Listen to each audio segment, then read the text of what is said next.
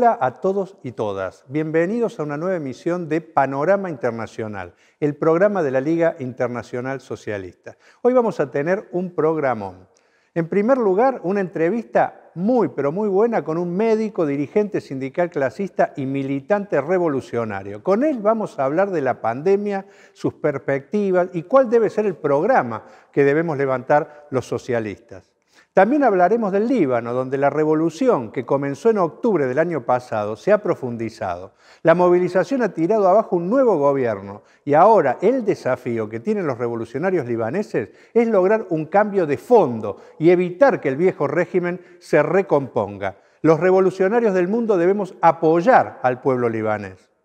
Vamos a contar también con un informe de Bielorrusia, donde se ha abierto un proceso de movilización que no se veía desde que en 1991 la clase obrera derrotó a las camarillas estalinistas en Bielorrusia y en toda la por entonces Unión Soviética. La respuesta del régimen ha sido una represión brutal que en estos momentos sigue siendo desafiada por sectores del movimiento de masas. Hoy volveremos a desarrollar también un nuevo ciclo de la vida y obra del revolucionario ucraniano León Trotsky y su actuación durante los primeros años al frente del primer Estado obrero triunfante de la historia. Antes de finalizar, les socializaremos los aspectos más destacados de la Conferencia Internacional de la LIS que se realizó el pasado 8 y 9 de agosto. No se pierdan nada de este programa porque se van a arrepentir.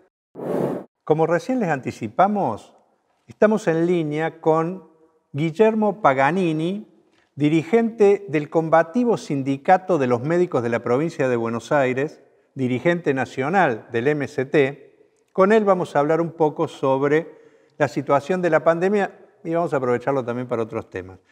Hola Guillermo, un placer hablar contigo. En primer lugar te quería preguntar cómo estás viendo el desarrollo de la pandemia que asola a la humanidad y también un poco la respuesta que están dando los distintos gobiernos. ¿Cómo te va Alejandro? Un placer estar en tu programa, el programa de la LIS. Y mira, eh, la pandemia, por más que han pronosticado ya, o mejor dicho, han racionalizado el deseo de los gobiernos capitalistas del mundo de que eh, se termine, eh, la verdad que el horizonte es de que se siga expandiendo. Hoy, vos fíjate que ya abarcó a alrededor de 188 países, de acuerdo a los estudios que hay hechos por las universidades, incluso del propio Estados Unidos, ¿no? Eh, y tiene alrededor de 730.000 muertos y tiene un horizonte imparable. Algunos en el pronóstico están hablando de que puede llegar a los 40 millones de muertos. De alguna manera, es una, está dentro de las seis grandes epidemias de la historia de la humanidad.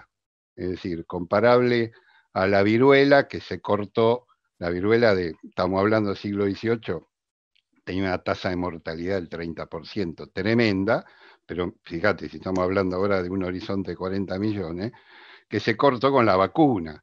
Eh, a, las epidemias de sarampión, que, ojo, involucraron 200 millones de muertos realmente, y en la década del 60 recién apareció la vacuna, y cambio hay brotes cada dos, tres años, pero no es lo mismo. A la gripe española, que es tal vez a la que más se la compara, que se la llama española, porque se la, se la legalizó en España, pero fue una pandemia, porque se dio en, todos los lugares. Lo que pasa es que en esa época la ocultaban, que también abarcó prácticamente la mitad de la humanidad y, y fueron 50 millones de muertos. A la peste negra, ya hablando del siglo XIV, o incluso a lo que es el HIV. Ahora, en general, todas estas, o hubo vacuna hubo tratamientos efectivos, acá todavía eso está en agua de borrajas. Entonces, de verdad, el horizonte es preocupante. Y es preocupante además, eh, porque esto no es, digámosle, un, castigo divino o, algo inevitable producto de la naturaleza, sino esto tiene que ver con las políticas que se están llevando adelante para, este, para ponerle coto. Y la verdad, este, esto desnuda, desnuda la cara tal vez más oscura de la crisis capitalista. Esto a su vez dinamizó la crisis capitalista, la agravó, pero evidentemente es un subproducto también de la crisis porque, por un lado, eh, la, pandemia se ha extendido porque no se han tomado ni siquiera algunas medidas elementales, no aprendieron de epidemias anteriores, ¿eh? porque ponele la gripe fue la gripe española, estaba la famosa tríada de la gripe española, que fue, hablando de otra época incluso de desarrollo de la humanidad, cuarentena, tapabocas o barbijo y impuesto a la riqueza. Bueno, ahora más bien lo que ha habido han sido cuarentenas desiguales, tardías, en algunos casos gobiernos directamente negacionistas, como Bolsonaro o, Trump, o el gobierno nicaragüense, este, más bien transferencia de recursos, justamente porque hay una crisis capitalista hacia el rescate de bancos, de grandes empresas, y no hay inversión en medidas sociales y en medidas sanitarias. Y este, este debate que se empezó a instalar de economía o salud, hablando de economía de, la, economía de los grandes grupos, la economía capitalista versus la salud de la población, evidentemente se definió a favor claramente de un primer momento y por una decisión política de todos los gobiernos de distinto pelaje y signo en función de la economía. Entonces, eh, esto, por un lado, eh, desnudó este efecto de la crisis capitalista y por otro lado la secuela de lo que han sido el devastado de los sistemas de salud del mundo. Ha puesto, realmente ha desnudado el colapso de los sistemas producto de las políticas de austeridad y de ajuste, los recortes. Por un lado, eh, fíjate los países europeos que han tenido las peores eh, tasas cuando, esto obviamente hubo un primer epicentro en Asia, en China, después se mudó más o menos marzo, y, tuvo el pico Europa, ahora está en América. Ahora, eh, los sistemas europeos, que han sido sistemas mixtos con el componente estatal muy reducido, sacando el sistema inglés, que había sido un ejemplo, el National Health Service, y que de Thatcher en adelante fue diezmado, fue recortado, fue privatizado, y entonces tiene uno de los peores resultados hubo en el Reino Unido. Eh, Estados Unidos, que directamente no tiene, no tiene sistema público. Siempre hay la disputa demócrata-republicano fue alrededor de tener un sistema de salud, este, incluso formulado como un seguro de salud, ni siquiera como un, como un sistema público único, este, financiado por rentas generales por, por, parte del Estado. Y sin embargo, eh, no hay, no existe. Eh, y bueno, están las consecuencias, cadáveres apilados en las morgues, en, las morgues adicionales, iglesias, en la etcétera, etcétera. Tremendo, tremenda la situación de desborde. Y, este, y bueno, y, los lugares donde había cierto sistema público este, o sistemas mixtos, este, bueno, se demuestra la realidad al convertirse los sistemas de salud en, digámosle, grandes consultorios de, febriles y, grandes eh, unidades de, cuidados críticos, vamos a llamar así, en función del agravamiento de las epidemias, muestran que falta personal, que no alcanzan las camas, que la infraestructura es deficiente, que está fragmentado el sistema y el sector privado tiene la mayoría de la capacidad instalada y por supuesto lo utiliza en función de su ganancia y no de la salud pública. Bueno, entonces, eh, esto ha obligado incluso, ha desnudado a tal punto, a tal punto, esta combinación entre un desastre sanitario y, la crisis de, los sistemas de salud, que hubo países que se vieron obligados, países bien capitalistas, que se vieron obligados a tomar algunas medidas similares a algo de lo que nosotros planteamos como meter mano, por lo menos en el sector privado, declarar utilidad pública capacidad instalada, este, empezar a tener un comando centralizado para poder, como mínimo, tener algún tipo de optimización de recursos para enfrentar esto, como hizo Irlanda. Pero Irlanda lo hizo con sistema público pequeño, fue prácticamente una coordinación sobre el sector privado, pero demostró que había que llegar a ese tipo de medidas, o incluso en propio Nueva York, en el momento de mayor crisis, donde tuvieron que salir a incautar respiradores porque no tenían, y bueno, ahí del sector privado, porque es lo que hay ahí, tuvieron que hacer algún grado de planificación estatal para poder eh, atender la, epidemia. Entonces, en síntesis, vemos una situación grave hoy y vemos una dinámica más que preocupante, ¿no? sobre todo considerando los pronósticos que hay y las evidencias que ya empezaron a ver de que estamos marchando a una, a una segunda ola. ¿no? ¿Cuál es la dinámica y qué previsión hace sobre cuáles serán finalmente las consecuencias de esta pandemia? Contame también un poco sobre la vacuna. Rusia acaba de informar que ya la tiene, otros lo desmienten. ¿Qué hay detrás de todo esto? Mira, eh, lo que se está viendo justamente producto de esta política que se aplicó es que en los lugares donde había este traslado de epicentro de Asia a Europa, de Europa a América, eh, hay, una, hay una nueva, lo que se llama una nueva ola, y, y, se presume que puede ser peor que la anterior, porque ya hubo rebrotes en China, pero por ejemplo ahora en Australia, en Perú, en Israel, en Japón, en lugares incluso que había bajado, en España, en España. Ahora, eso tiene que ver con que se abrió, o hubo poca cuarentena, o se abrió prematuramente la cuarentena, esa es la realidad. Porque al no haber vacuna, la vacuna, digámosle, la barrera sanitaria más elemental es, la cuarentena, no hay otra cuestión. Ahora, eh, no se hicieron las cuarentenas como corresponde, o donde se implementaron, por ejemplo, Argentina o algunos lugares que incluso se implementó prematuramente, a diferencia de varios lugares de Europa, como se dice, aprendiendo el del desastre, porque en realidad acá se había pronosticado en primer lugar que ni siquiera iba a llegar el coronavirus, se hizo sin ningún tipo de apuntalamiento económico y social, esa es la realidad, es decir, no se hizo eh, preservando el trabajo, preservando el salario, este, asistiendo a los sectores más vulnerables con subsidios universales para que, y suficientes para que puedan hacer la cuarentena.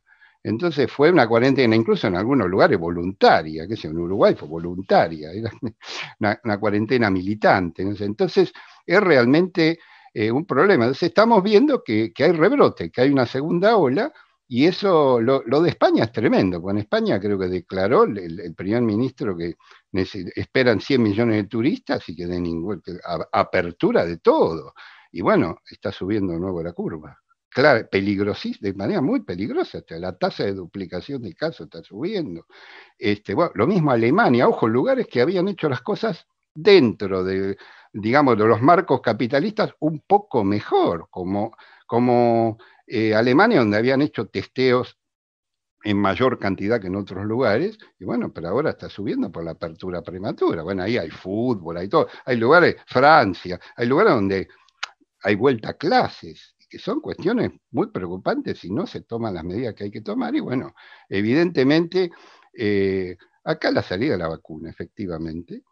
Y, bueno, acá, primer problema, también por la lógica capitalista, las disputas Rusia, Rusia-China este, eh, y, y con Estados Unidos. No, no hubo un estudio de cooperación internacional. en otras épocas, pese al capitalismo, incluso había en frente a algunas enfermedades estudios cooperativos internacionales de investigación y después para los tratamientos. Y sin embargo, esta vez no, a todo lo contrario, una competencia desenfrenada a ver quién es el primero que saca la vacuna, la patente empieza a transformarla en ganancia capitalista. Entonces, eh, hoy hay varios proyectos, en realidad está pues hay que las vacunas tienen que pasar por determinadas pruebas. Hay una etapa de pruebas preclínicas, después está la llamada fase 1, que es la fase en la cual se miden si tiene efectos adversos en pequeños grupos de, eh, personas, ya es, ya la fase clínica. La fase 2 es donde se mide la efectividad o la eficacia, digámosle, es decir, si tiene efecto inmunitario. Y la fase 3 ya, que ya son estudios multicéntricos en diferentes países y en diferentes grupos muy grandes para medir las dos cosas, es decir, los efectos adversos y también la eficacia. Después viene la fase de producción y después la comercialización, la distribución. Ahora, Rusia saca una vacuna donde saltó todas las fases. En dos meses sacó esa vacuna. Entonces, por supuesto, al estilo de estos, los gobiernos estos de que además de ser capitalistas tienen algunos fantoches al frente, histriónicos y con algunos aditamentos como, como Putin, dice que vacunó a su hija, como lo mismo que Bolsonaro que tomaba la hidroxicloroquina que nunca estuvo probado que sirviera efectivamente como, como medicamento, cosas así. Creo que Ortega toma algún brebaje extraño en, en Nicaragua también. Ahora, este, eh, no, no está, más bien la comunidad científica está objetando la, vacuna rusa. Entonces, acá se ve también la otra cara del ajuste y de los planes de austeridad, que son que no ha habido un fomento a todo lo que es ciencia y técnica, las líneas de investigación a cargo del Estado para eh, poder desarrollar la vacuna, porque se podía haber empezado antes, sí, se podía haber empezado antes porque, digámosle, antes de que se produzca el llamado salto de especie del virus, el virus se lo conocía, el coronavirus. Eh, es más, como virus, así coronavirus, porque este es, este, es un tipo de coronavirus, y hay varios, creo, que hay seis ahora dando vuelta, pero hay, mutaciones, solo conocemos nosotros cuando estudiamos en la universidad el coronavirus como tal. Ahora, sabemos perfectamente que hubo líneas de investigación y que fueron suprimidas y que fueron liquidados los financiamientos de esas líneas de investigación en las universidades. Entonces, la verdad, este, yo creo que en esta carrera, ya sea la de Moderna, que ya anticipó que ni siquiera la va a socializar y que va a ser, le va a poner un precio que se va a vender, de hecho, privatizada de arranque, la de Pfizer, que es la que se está probando en la Argentina y en algunos otros lugares, son las que presuntamente cumplieron las fases, pero todavía todos dicen que hasta fines de año, mitad del año que viene, puede haber novedades de la vacuna. Entonces, la dinámica complicada, ¿no? Cuando recién comenzó la epidemia hicimos una gran campaña planteando la necesidad de un sistema único de salud. ¿Me podés explicar cuál debería ser la política de los revolucionarios frente a este desastre sanitario? Sí, nosotros hicimos una campaña que logramos miles y miles de firmas con compañeros de Brasil y la verdad que, eh, porque se puso en debate, eh, por supuesto, se pusieron en debate dos cuestiones, qué medidas transicionales hacen falta desde el punto de vista económico-social hacia la clase trabajadora, sectores populares, y también en medidas sanitarias. Se colocó lo del Sistema Único de Salud. Eh, son las dos patas. O sea, por un lado, preservar, ya dijimos, en estos casos es fundamental no solo preservar el empleo, prohibiendo despidos y suspensiones, reconvertir la industria, o sea, desde ya, cuarentenando a la población, que es lo que hay que hacer, porque la barrera sanitaria efectiva ¿eh? es testear y cuarentenar, testear, aislamiento y cuarentenar. Entonces, pero se lo cuarentena con plata, con plata en el bolsillo de las y los trabajadores. Entonces, preservándole su empleo, prohibiendo despidos, suspensiones, penalizando a las empresas que no cumplen, este, preservando el salario, prohibiendo todo tipo de rebaja de salario, incluso produciendo los aumentos y las actualizaciones automáticas necesarios de acuerdo al costo de vida, eh, y, colocando subsidio universal realmente suficiente para que ya los desempleados, este, los monotributistas, o sea, los sectores que dependen de, un trabajo más artesanal o, de, o que viven del trabajo ocasional o muy precarizado, tengan un ingreso. Eso es una malla social fundamental. Ahora, en realidad para financiar todo el paquete acá habría que reconvertir toda la industria, toda industria en función de atacar la pandemia, es decir, eh, toda rama esencial se debe garantizar preservarle el empleo al trabajador y a su vez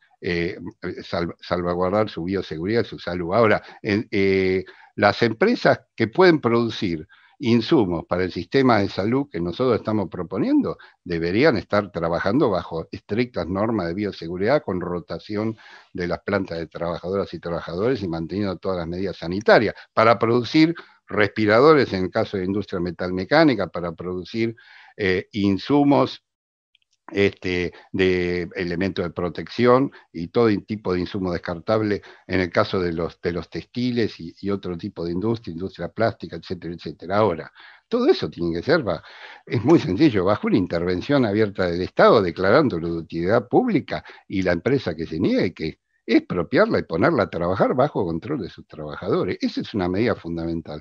La otra, desde el punto, y, después, por supuesto, ¿quién paga esta crisis? La tiene que pagar este, los capitalistas. O sea, yo ya lo dije antes, impuesto a la riqueza y a las rentas y no pago de las deudas, de las deudas tremendo. Y nosotros estamos asistiendo a que al revés, justamente lo que se está haciendo es lo contrario, transferir plusvalía hacia los capitalistas, cobrar las deudas por parte de los organismos internacionales y eh, rescatar a los bancos y no, y no a, las y los trabajadores. Y por, el, por otro lado, medidas sanitarias, sistema único de salud, es decir, sistema declara de utilidad pública. Toda la capacidad instalada del sector privado, de los sectores de seguridad social, hacer un comando único centralizado a cargo del Estado, todo sector que no acepte eso, nacionalizarlo y ponerlo a trabajar bajo control de, los trabajadores, y, este, y bueno, e implementar un shock de inversión pública, es decir, este,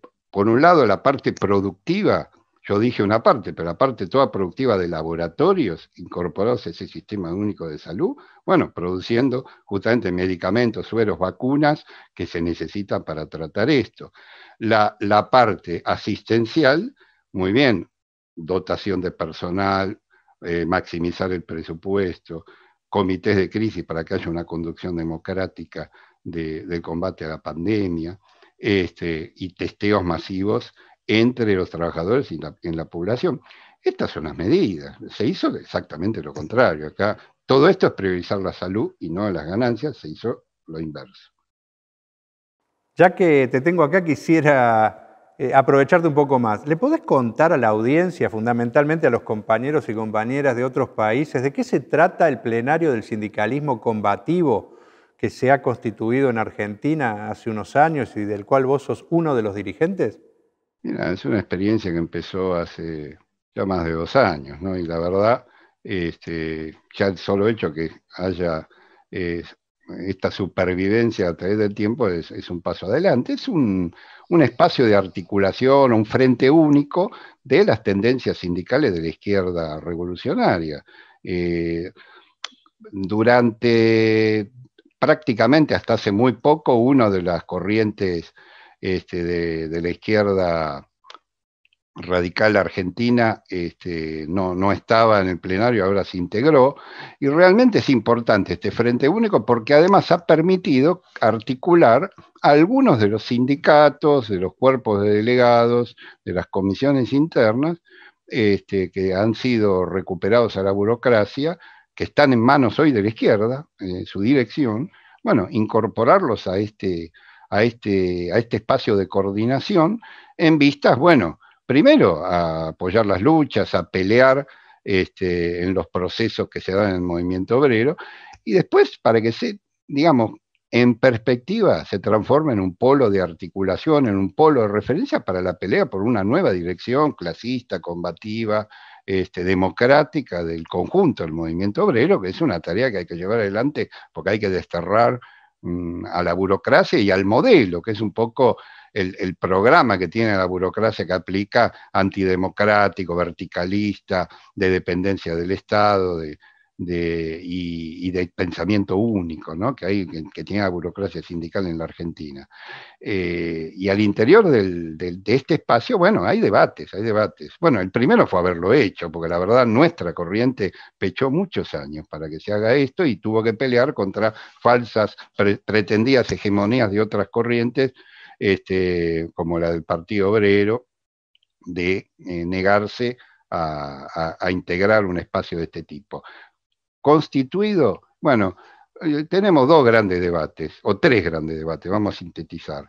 Uno, uno es no nos alcanza el Frente Único, porque para nosotros ese Frente Único hay que llevarlo a fondo a los procesos de la lucha de clase.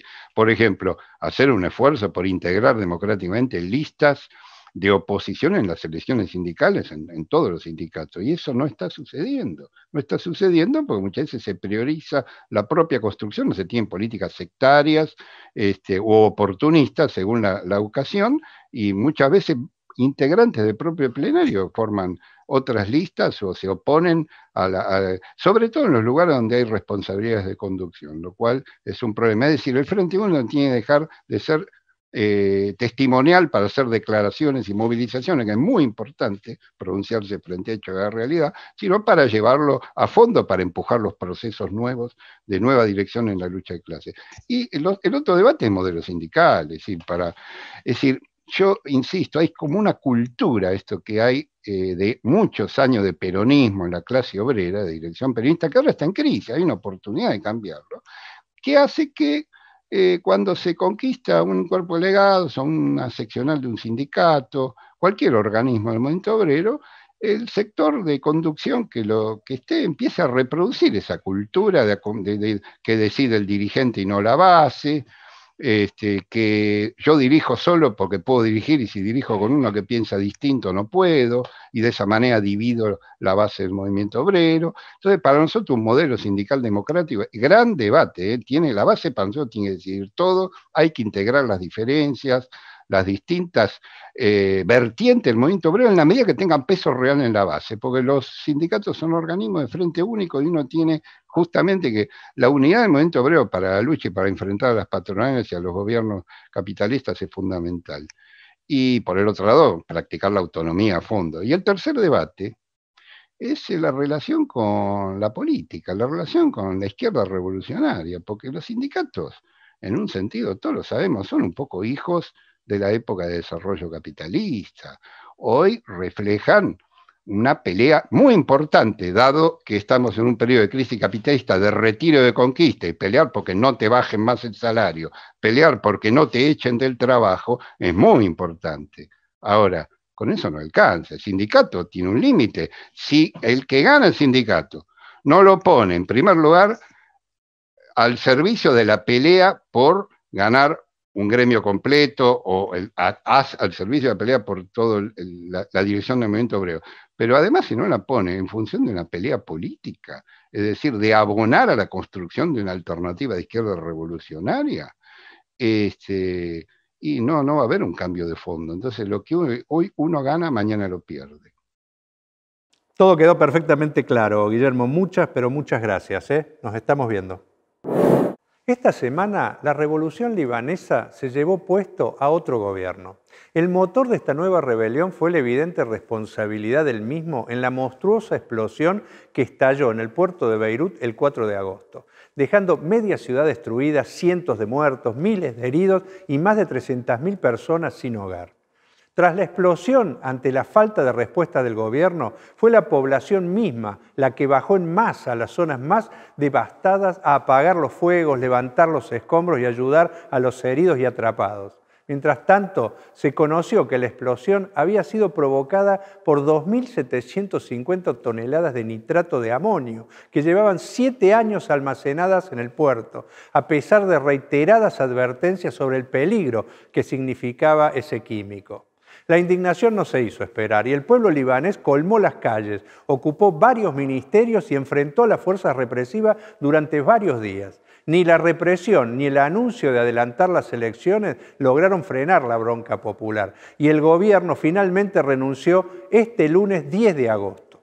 Pero la rebelión del pueblo libanés no nació de la respuesta a la explosión en el puerto.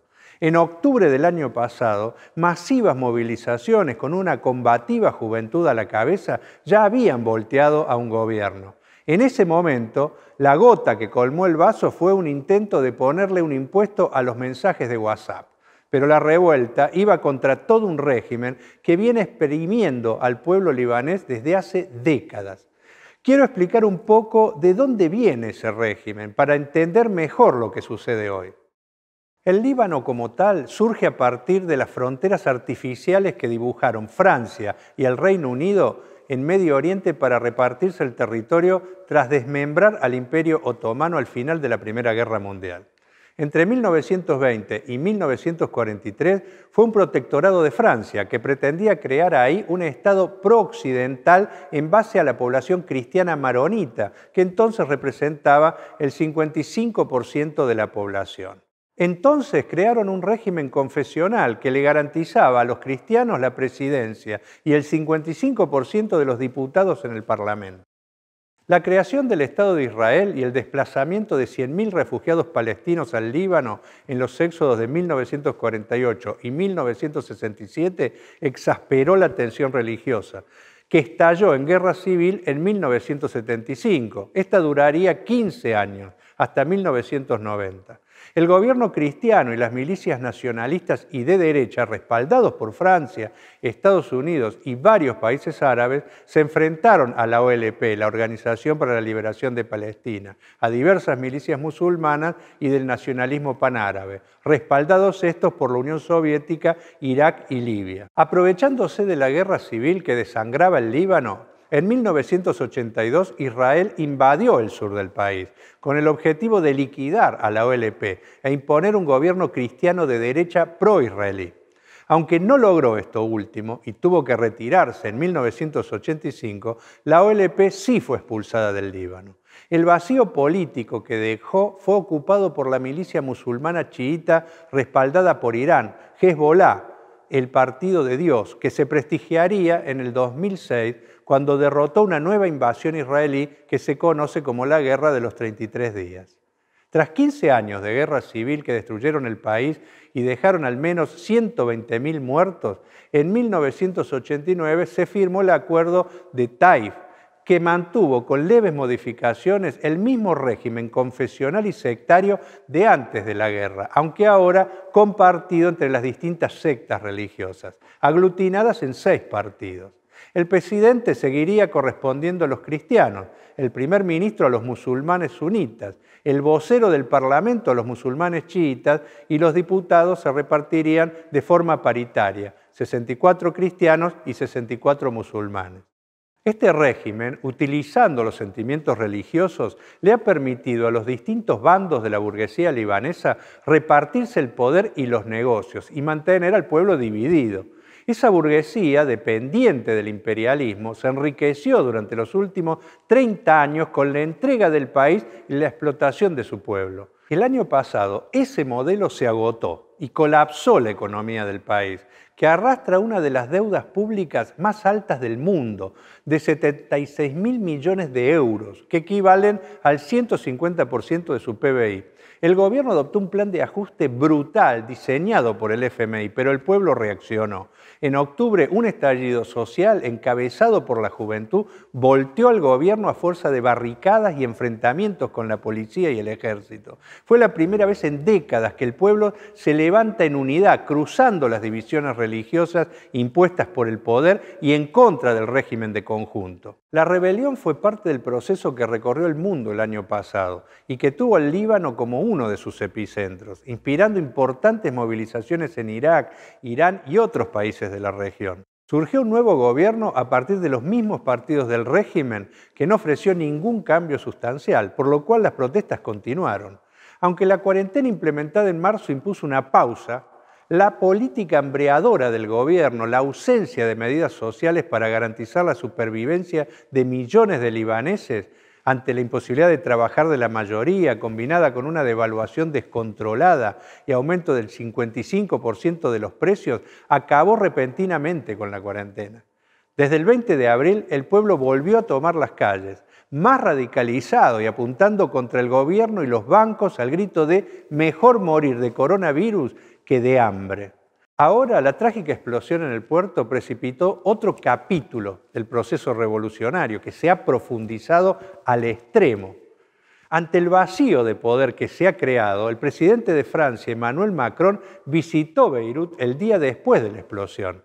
Detrás de su mentiroso discurso humanitario esconde dos preocupaciones del imperialismo francés. Una es defender los numerosos negocios que tiene en el país la otra es que Francia es uno de los países más sacudidos por el ascenso mundial de la lucha de clases, con la rebelión de los chalecos amarillos y las históricas huelgas generales del año pasado. Y saben que la profundización de la revolución libanesa inexorablemente tendrá repercusiones en Europa y principalmente Francia, donde la población árabe es una de las más importantes. Tan poco disimuladas fueron las intenciones intervencionistas de Macron que durante su visita comenzó a circular un petitorio pidiendo que Francia tome control del país por 10 años. Este intento neocolonial del imperialismo francés debe ser enfrentado y derrotado. Nuestros compañeros y compañeras del Movimiento por el Cambio han estado en la vanguardia de la rebelión desde octubre, siendo una de las organizaciones dirigentes más influyentes de la acampe permanente y las movilizaciones diarias que voltearon al gobierno de entonces. Desde la explosión del puerto han estado organizando la limpieza de escombros, recolección y distribución de comida y otras necesidades y alojamientos de familias que perdieron su vivienda. Y han vuelto a estar en la primera fila en este nuevo levantamiento. La movilización tiene planteado acabar con el régimen confesional y sectario. Nuestros compañeros vienen impulsando un llamado al conjunto de la izquierda para plantear una salida y una alternativa política de los trabajadores y los sectores populares contra todos los partidos tradicionales y el imperialismo, que va a hacer todo lo posible por reciclar el régimen capitalista hoy en crisis absoluta. Un reclamo cada día más masivo es el llamado elecciones libres, algo que no conoce el pueblo libanés. La nacionalización de la banca, el repudio a la deuda externa y la reorganización del país devastado por años de guerras y un régimen corrupto, ahora también por la destrucción de medio Beirut, solo podrá venir de un gobierno de los que nunca han gobernado, los trabajadores y el pueblo pobre. El pueblo libanés hoy necesita nuestro apoyo y solidaridad. Por eso desde la LIS impulsamos una campaña de solidaridad internacional que acabamos de votar en la conferencia que realizamos este 8 y 9 de agosto. Un dólar para el Líbano, para recaudar fondos críticamente necesitados allí y respaldar la lucha de los revolucionarios libaneses. No les podemos fallar a nuestros compañeros y al pueblo libanés. Por eso les pedimos a todos su apoyo solidario. Bielorrusia ocupó esta semana un lugar destacado en las portadas de los principales medios internacionales. ¿Por qué? Porque el dictador Lukashenko, quien desde hace 26 años maneja el país con un régimen profundamente represivo, volvió a reelegirse como presidente en unas elecciones completamente fraudulentas, con la mayoría de la oposición proscrita y sin ninguna garantía democrática. Hasta ahí, nada nuevo. Lukashenko es parte de la vieja burocracia soviética, reconvertido en dictador capitalista tras la caída de la ex Unión Soviética y nunca fue precisamente un demócrata tiene una larga historia de persecuciones al movimiento obrero y también a todos los sectores que pusieran en duda su mando, incluso sectores que durante un tiempo importante fueron parte de la base de sustentación de su régimen. Entonces, la noticia es que, a tono con una situación internacional que se radicaliza, la juventud, los trabajadores y el pueblo de Bielorrusia esta vez dijeron basta y se movilizaron masivamente. Como lo abordamos en ediciones anteriores de Panorama Internacional, el deterioro de la situación económica en el país, la postura negacionista y criminal del gobierno frente a la pandemia, el endurecimiento de las medidas represivas para contener el creciente descontento popular y, por supuesto, el escandaloso fraude en las elecciones están provocando un cambio enorme. El movimiento que comenzó con la movilización de sectores de la intelectualidad y la juventud rápidamente se transformó en una rebelión popular que no se veía en el país desde 1991, cuando la movilización terminó con la ex Unión Soviética. El gobierno inició un proceso electoral proscribiendo a los principales candidatos opositores, un banquero y un reconocido bloguero, que fueron encarcelados para evitar que compitieran. Ante esto, una maestra, esposa del popular bloguero, tomó la posta y con el apoyo popular logró presentarse hay un contraste grosero entre el 9,9% asignado por el régimen el pasado domingo y el 70% obtenido en las escasas mesas que escaparon al fraude. La candidata luego debió refugiarse en Lituania para evitar la cárcel, pero desde allí ya anunció que impugnará el proceso. El régimen ha dado sobradas muestras de que no piensa caer sin provocar un baño de sangre. Sin ir más lejos, en las manifestaciones la policía reprimió con carros hidrantes, gases lacrimógenos, porras y balas de goma. Según las denuncias de las ONG, dos personas fueron asesinadas. Hay informaciones que incluso indican que habría más personas asesinadas. Hubo centenares de detenidos que podrían ser condenados a entre 8 y 15 años de prisión. También han bloqueado las comunicaciones y el acceso a Internet. Es importante destacar que la respuesta masiva en la movilización de los sectores medios, la juventud y el movimiento de mujeres contó también con huelgas importantes en Minsk y otras ciudades, aumentando la potencialidad del movimiento con la participación de los trabajadores. Repasemos. Un dictador y un régimen en crisis, una ruptura y una radicalidad importante de amplios sectores de trabajadores y jóvenes, un puñado de direcciones débiles y la oportunidad de construir algo nuevo. Los desafíos están planteados. Al calor de este movimiento heterogéneo, pero que ha movilizado a la mayoría del pueblo, ha comenzado el debate en todos lados sobre cómo construir una alternativa. Entre los trabajadores, nuestros compañeros nos informan que existen importantes debates sobre la necesidad de poner en pie un partido de los trabajadores para que la próxima oleada de luchas los encuentre más preparados para organizar la huelga general y disputarle el poder a la burocracia y acaudillar el movimiento. Desde la Liga Internacional Socialista somos parte activa de la lucha. Repudiamos la violenta represión estatal, exigimos el fin de las persecuciones, la anulación de las causas penales, la investigación y el castigo a los asesinos de manifestantes. Reclamamos también la inmediata libertad de los presos políticos y activistas democráticos. El 21 de agosto se cumplen 80 años del asesinato de León Trotsky. Hoy presentamos el tercer informe de nuestro ciclo conmemorativo de su vida y obra, que culminará en el acto internacional de la LIS que realizaremos el sábado 22 de agosto. Trotsky se encontraba exiliado en Nueva York cuando estalló la Revolución de Febrero en 1917, que derrocó al zar Después de sobrepasar toda una serie de obstáculos diplomáticos, logró llegar a Rusia en mayo. El poder en la capital rusa y centro de la revolución, Petrogrado, había quedado en manos del Soviet de Delegados Obreros, que reunía representantes electos en las fábricas. Pero los dirigentes reformistas que influenciaban a la mayoría de los delegados en el Soviet apoyaban al gobierno previsional que había armado el Parlamento burgués. Estos eran los socialrevolucionarios, el Partido Populista de Kerensky, quien pronto asumiría la presidencia del propio gobierno provisional, y los mencheviques, el ala moderada reformista del Partido Socialdemócrata ruso. Como contamos en el ciclo anterior, varios dirigentes del ala bolchevique también inicialmente apoyaron al gobierno provisional. Y fue Lenin, cuando volvió del exilio en abril, quien ganó al partido para la política de pelear porque los soviets tomaran el poder. Desde que llegó al país, Trotsky se sumó con todo a esa pelea, aunque por la vorágine de la revolución recién en agosto se incorporaría al partido bolchevique. La influencia de los bolcheviques en los soviets fue creciendo en la medida que el gobierno provisional incumplía las principales demandas y causas de la revolución, manteniendo, por ejemplo, a Rusia en la guerra mundial, lo que profundizaba la carencia y el hambre, y negándose a repartir las tierras a los campesinos.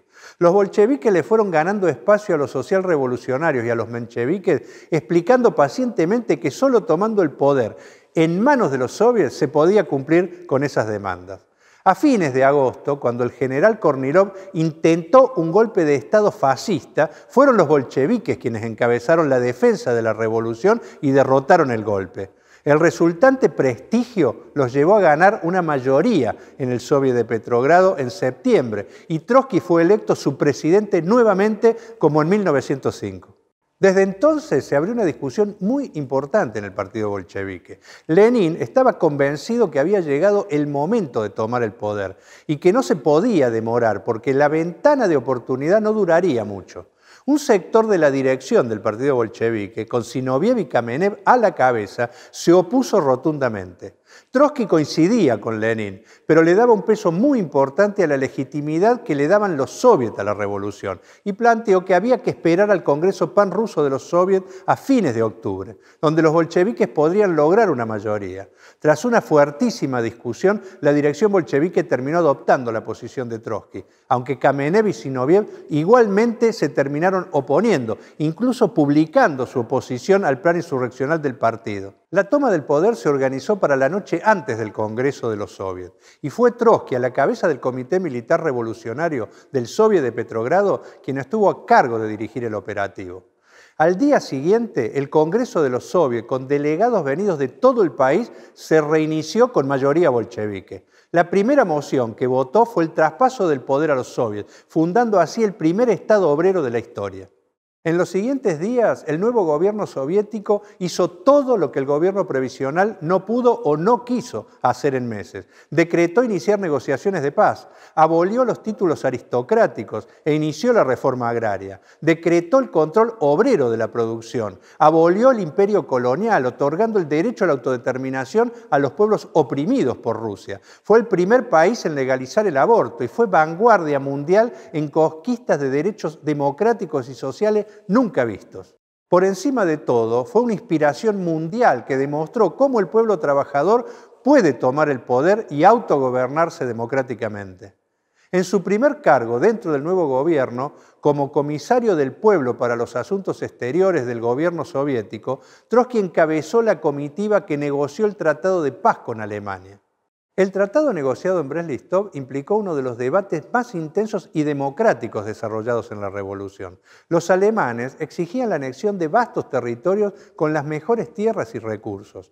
Lenin opinaba que a pesar de las duras condiciones, había que aceptar para cumplir con la profunda exigencia de la población de acabar con la guerra y también para poder estabilizar el nuevo Estado obrero.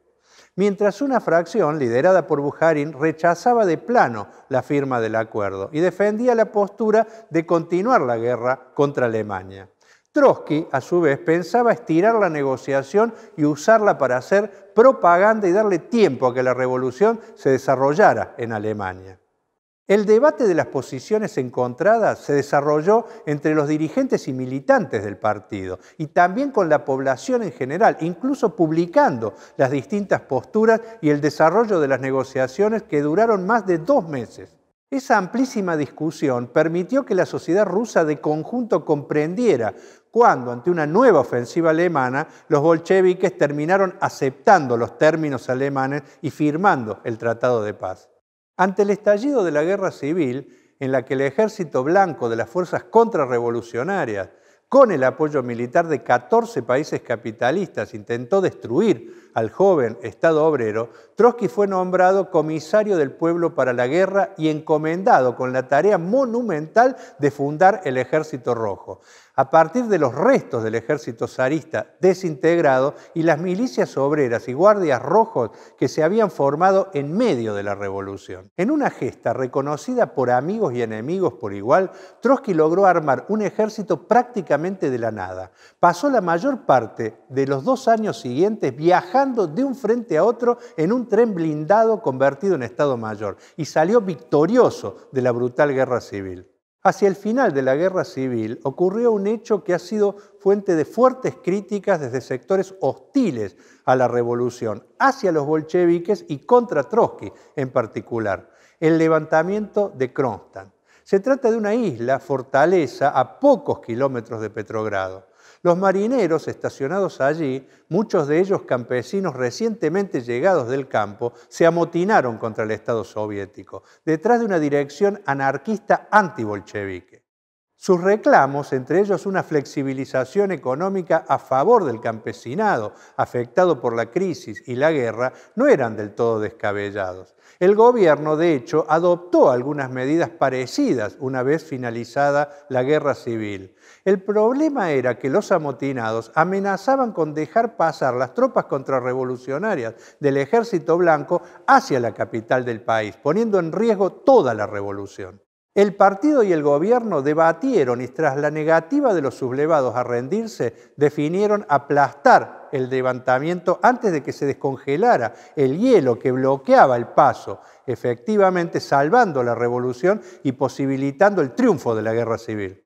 Los métodos democráticos del bolchevismo para resolver hasta las políticas más importantes distan de la caricatura monolítica que construiría después el estalinismo y fueron una constante en los difíciles años posteriores a la revolución.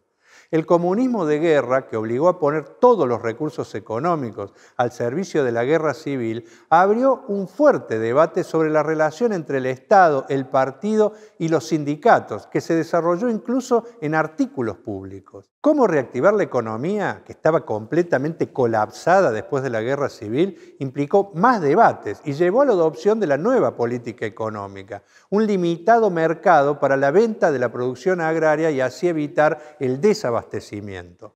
Otro debate fue cómo implementar la autodeterminación nacional de los pueblos oprimidos por el imperio ruso y la relación con el nuevo Estado soviético. Y por encima de todo, la discusión de cómo expandir la revolución internacional. Trotsky también jugó un rol central en la fundación en 1919 y los primeros congresos de la Tercera Internacional. Trotsky, como Lenin y como había escrito desde la primera formulación de su teoría de la revolución permanente, entendía que el joven Estado obrero no tenía chances de sobrevivir si la revolución no se expandía hacia Europa. Y efectivamente, estallaron revoluciones en la mayor parte del continente en los años posteriores a la Primera Guerra Mundial. Por eso, a pesar del monumental desafío de afrontar un colapso económico y una guerra civil, los bolcheviques destinaron toda la atención, recursos y sus mejores cuadros a construir la internacional, a intentar organizar a los revolucionarios de los demás países e incidir en los procesos revolucionarios para que triunfen. Trotsky escribiría que los primeros cuatro congresos de la Tercera Internacional fueron una escuela de estrategia revolucionaria. Los debates centrales giraron en torno a cuáles eran las políticas más adecuadas para disputar el poder en medio de los procesos revolucionarios que recorrían Europa y otras partes del mundo. Y vieron a Lenin y Trotsky enfrentarse a corrientes oportunistas por un lado y sectarias por el otro. El primer congreso se realiza en 1919 en plena guerra civil.